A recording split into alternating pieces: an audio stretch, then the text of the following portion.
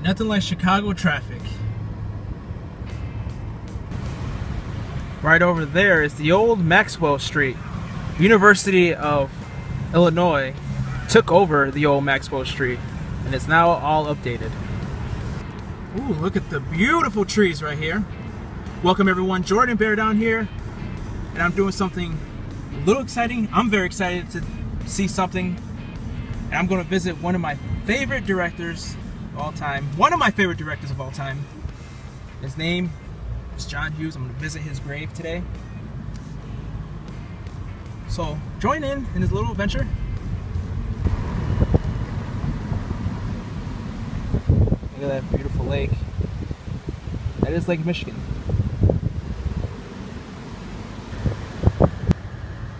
Entering the cemetery one of my favorite directors was last was laid to rest. I am here on Lake Forest Cemetery. And right there is the John Hughes grave.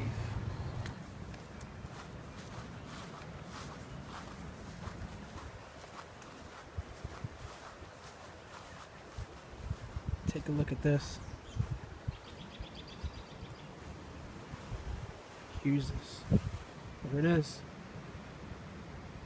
It looks like this is for his wife, lay right next to each other.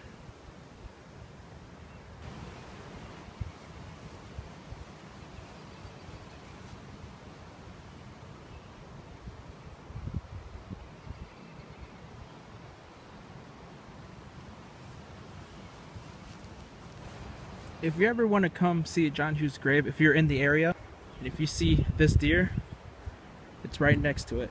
But yeah, this is the John Hughes grave. I want to thank you guys for watching this short little vlog.